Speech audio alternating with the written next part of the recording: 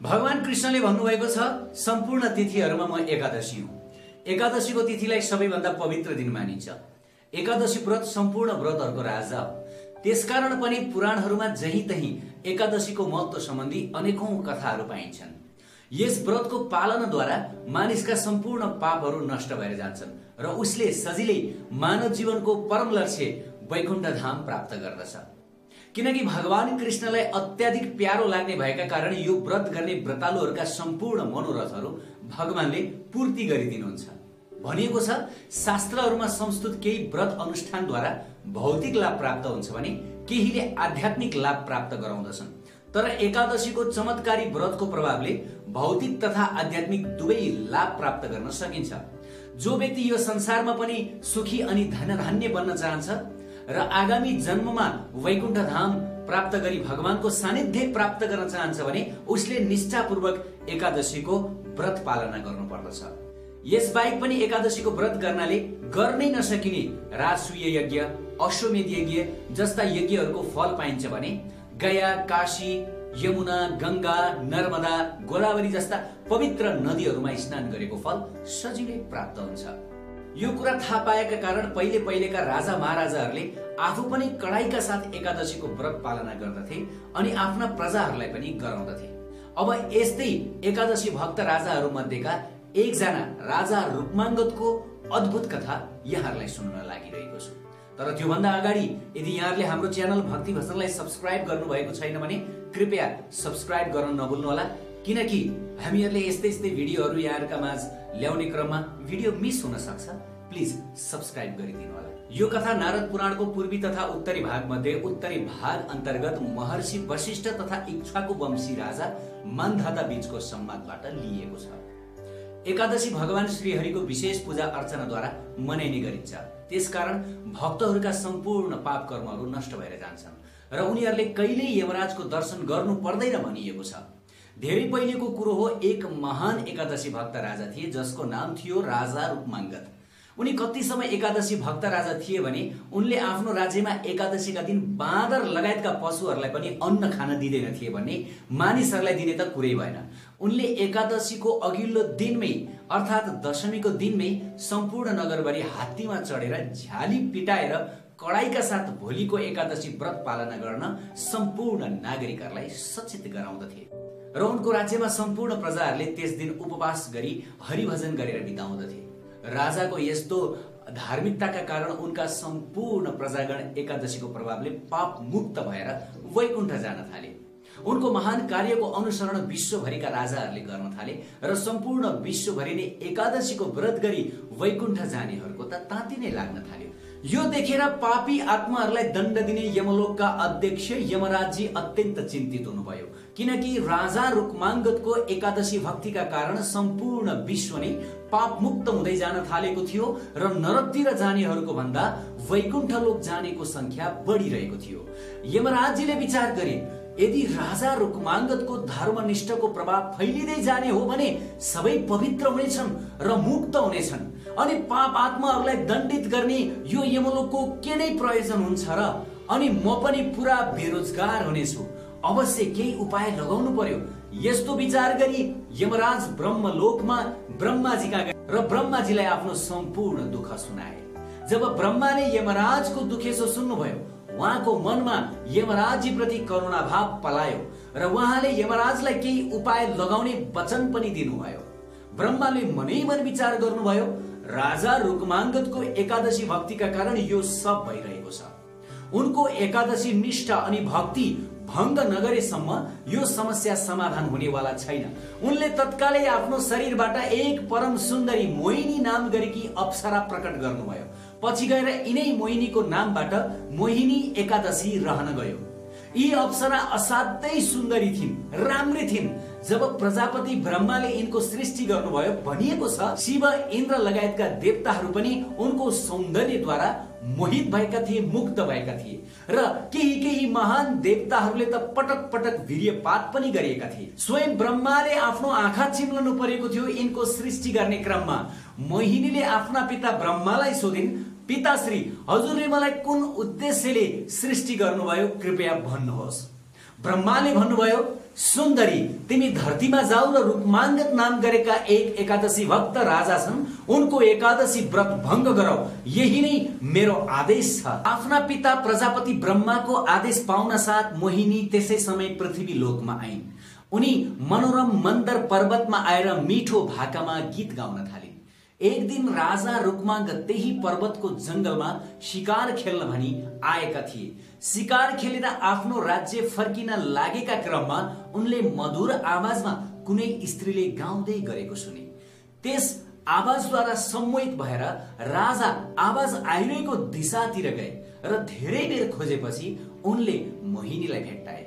सुन्दर अनि एकान्त जङ्गलमा त्रिलोकी सुन्दरी मोहिनीलाई देखेपछि राजाको मन उनीप्रति आकृष्ट भयो।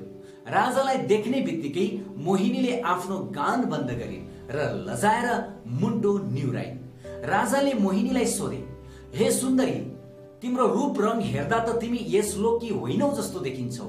आफ्नो परिचय देऊ र यसरी सुन्दर आवाजमा गीत गाउनुको कारण के हो त्यो पनि मलाई बताऊ।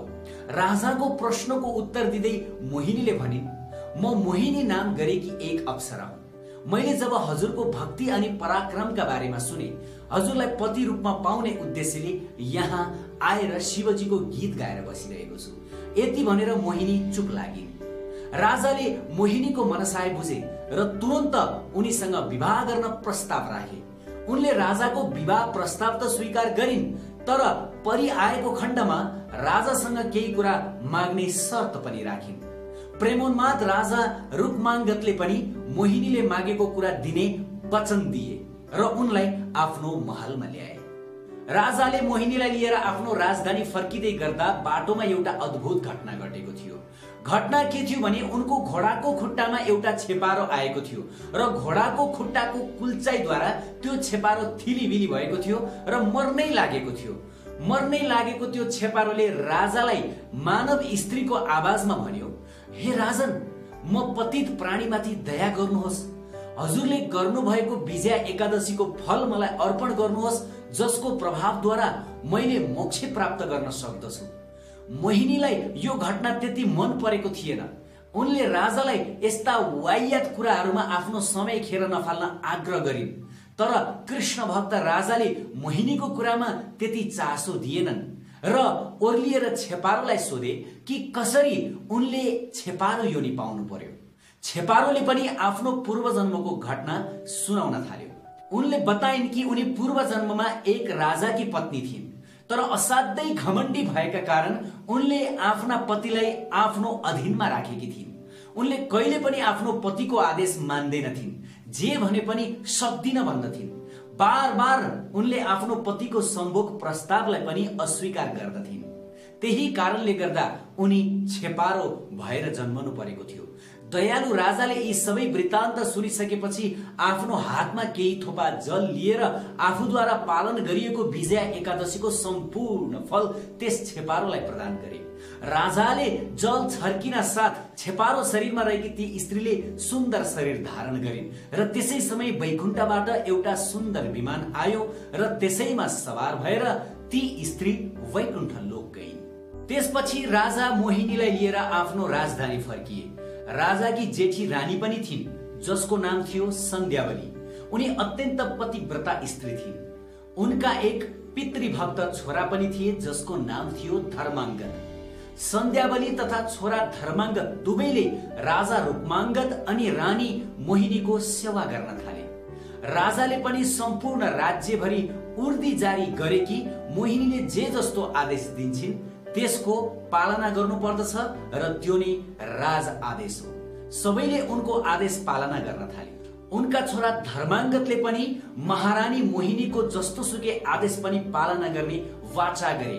कथा यही टुङ्गिँदैन अगाडि झन् रोचक घटना आउँदछ। कृपया मन लगाएर सुन्नुहोला यसरी दिन बित्दै गयो। मोहिनीले राज परिवारमा केही अप्ठ्यारा शर्तहरू राख्दै जान थालिन् जुन धार्मिक सिद्धान्त विपरीत हुन्थ्यो। मोहिनीको प्रेममा लिप्त भएका कारण राजाले उनका सम्पूर्ण आदेशहरू पालना गर्न थाले र उनका छोरा धर्माङ्गत अनि जेठी रानी सन्ध्यावलीले पनि चुपचाप मोहिनीका सम्पूर्ण आदेशहरू पालना गर्दै गए।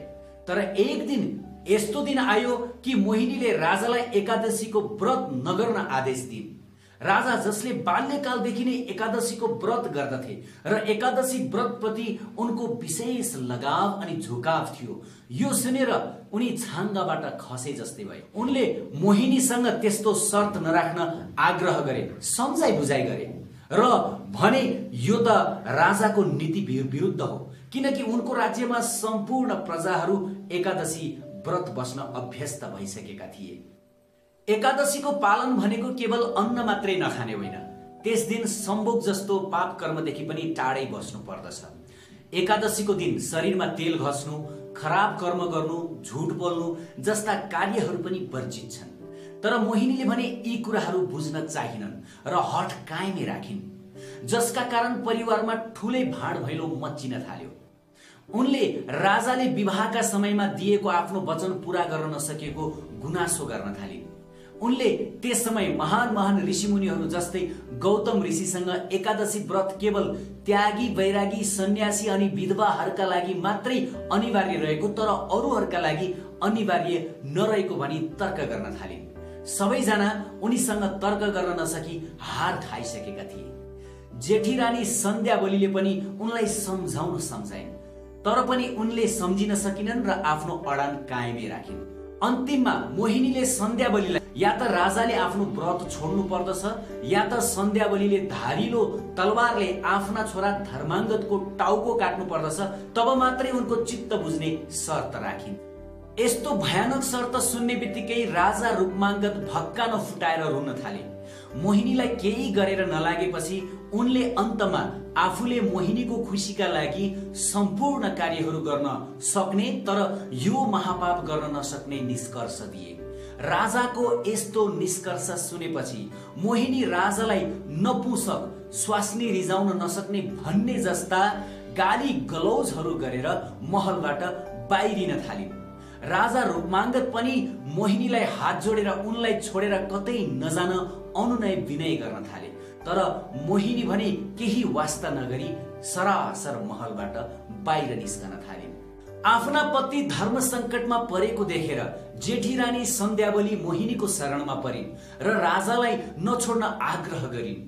उनले आफ्ना छोरा धर्माङ्गतको टाउको काटेर मोहिनीलाई दिने बाचा पनि गरिन्। त्यो कुरा सुनेर मोहिनी रोकिन् र रानीलाई तुरन्त आफ्नो बाचा पुरा गर्न अराइन् त्यसै समय धर्माङ्गत पनि टुप्लुक्क त्यहाँ आइपुगे र उनले सम्पूर्ण वृत्तान्त सुने। पितृभक्त धर्माङ्गतले तुरन्त आफ्नी आमाको प्रस्ताव स्वीकार गरे र काटिन तयार भए। सन्ध्यावलीले आँखाभरि आँसु लिएर आफ्नो कलेजाको टुक्रा छोरा धर्माङ्गतको गला काट्न लागिन्। राजा यो दृश्य देख्न नसकी मूर्छित परे। सम्पूर्ण प्रजाहरू हाहाकार गर्न थाले। त्यसै समय धरती काँप्न थालिन् हुडी बतास चल्न थाल्यो। हेर्दा हेर्दै साक्षात भगवान विष्णु पनि घटनास्थलमा आइपुग्नुभयो। गरुडमा सवार हुनुभएका अनि तेजपूर्ण सर्वशक्तिमान परमेश्वर विष्णुको तेजलाई सहन नसकी त्यही बेहोस भइन् मोहिनी। प्रभुले सन्ध्यावलीको हातबाट तलवार लिनुभयो र राजा रुक्माङ्गत अनि उनकी पत्नी तथा पितृभक्त छोरा धर्माङ्गतलाई तुरुन्तै आफ्नो अविनाशी धाम वैकुण्ठ लिएर जानुभयो र बिस्तार बिस्तार रुक्माङ्गत जस्ता एकादशी भक्त राजाको अनुपस्थितिमा मानिसहरू पापी हुँदै गए। पाप अनाचार बढ्न थाल्यो र नरक जानेहरूको संख्या बढ्न थाल्यो। विष्णु भक्त राजा सती रानी र पितृभक्त छोराको यो अद्भुत कथा यहाँहरूलाई कस्तो लाग्यो? कृपया कमेन्ट गर्नुहोला अनि सेयर गर्नुहोला। यो कथा सत्य युगको कथा हो तर वर्तमान समयमा पनि यो कथा जस्तै एकादशी व्रतको प्रभावको अनुभव गरेका अनेकौं घटनाहरू छन्। यहाँहरूसँग पनि एकादशी व्रतको यस्तै यस्तै घटना होला। कृपया हामीहरूलाई लेखी पठाउनु होला हामी यहाँहरूको कथालाई अवश्य यस च्यानलबाट प्रस्तुत गर्नेछौँ। यी घटनाहरू यहाँहरूलाई सुनाउँदछौँ।